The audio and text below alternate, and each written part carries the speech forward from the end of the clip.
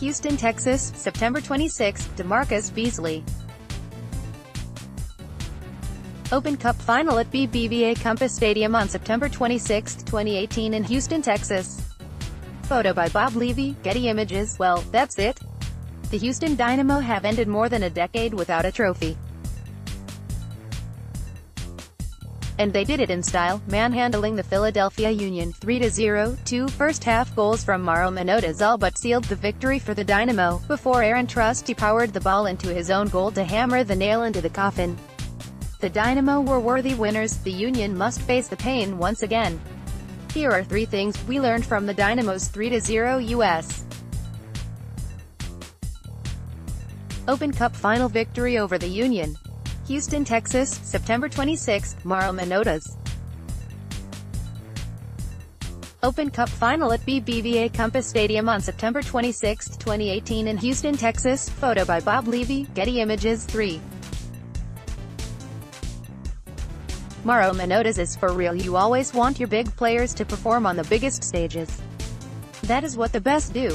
They produce when it matters most. And for the Houston Dynamo, they most certainly got that from one Mauro Manotas, the stirring number 9 who scored the first two goals of the game and all but the tie to bed before it ever got going. Want your voice heard? Join the MLS Multiplex team. Write for us. His first finish was, at first glance simple, but the more you watch it, the more you notice the cleverness in his movement, to slide away from the defender, to find the space in the six-yard box and to engineer an easy angle for the cross. And the second was simply sublime. Receiving the ball deep, Manotas skipped past a couple of defenders, slalomed his way to the edge of the penalty area and curled a lovely low strike into the far corner. Manotas is the first Dynamo number 9 to top 20 goals in all competitions in a season. He has provided Wilmer Cabrera with something that this team has previously lacked, a natural, prolific goal scorer. And he provided just when it mattered most. He really is the real deal. Next, 2.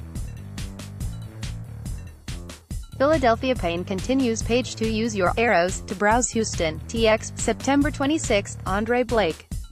Open Cup Final at BBVA Compass Stadium on September 26, 2018 in Houston, Texas. Photo by Bob Levey, Getty Images The Philadelphia Union have a penchant for letting down their fan base when crunch time comes around. And, unfortunately, this was no different from their previous misdemeanors. More from MLS Multiplex This was quite simply a flop. They didn't perform. They choked. They bottled it. Whatever sporting cliche to portray the failure to deliver when glory is on the doorstep you want to use, that is what the Union did on Wednesday night. And it's also familiar. The Union have now lost three U.S. Open Cup finals in five years, including two in successive years, both of which were played at home.